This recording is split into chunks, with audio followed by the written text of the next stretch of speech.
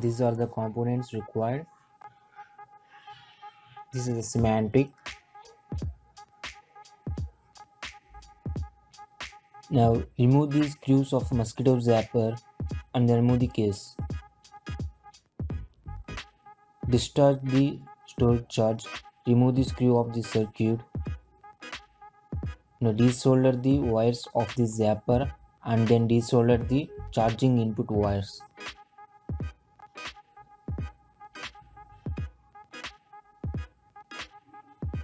This is the high voltage generator circuit. This is the capacitor which generates the high voltage output. Now remove the charging wires. It is optional. You can keep it if you want to charge this. Take a half meter hookup wire and make coil as shown in the video.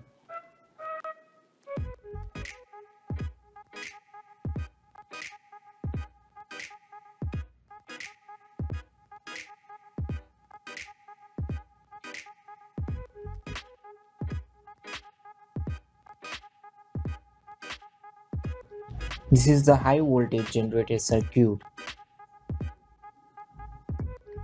We create a spark gap at any one of the terminal of output capacitor and then connect one wire of coil at the spark gap and connect another wire of the coil directly to the another terminal of the output capacitor. When the circuit is on, we can see the spark here. According to the schematic, solder one terminal of the coil at one terminal of the capacitor.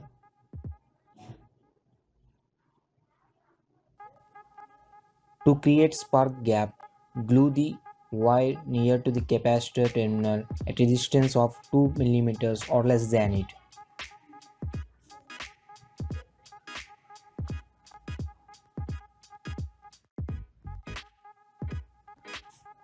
Now you can see the generation of the spark at the spark gap which we have created.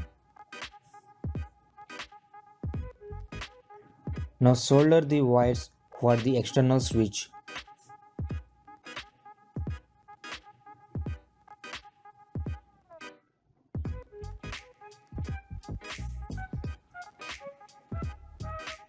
Now place the circuit in the case carefully and don't forget to turn on the switch before closing the case.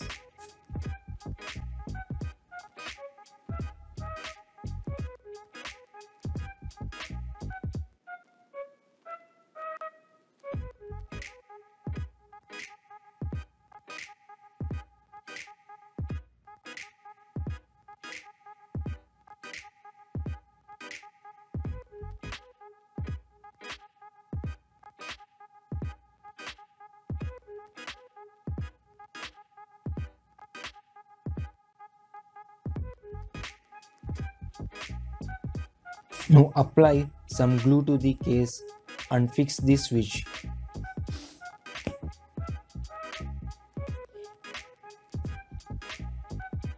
Now apply double-sided tape to fix the battery.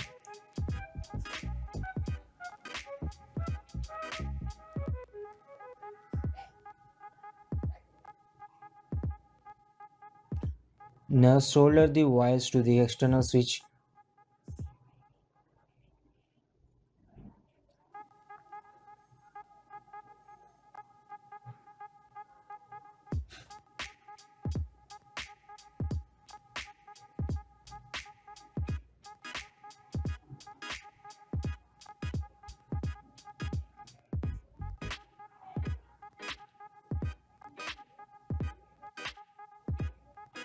Now we test it.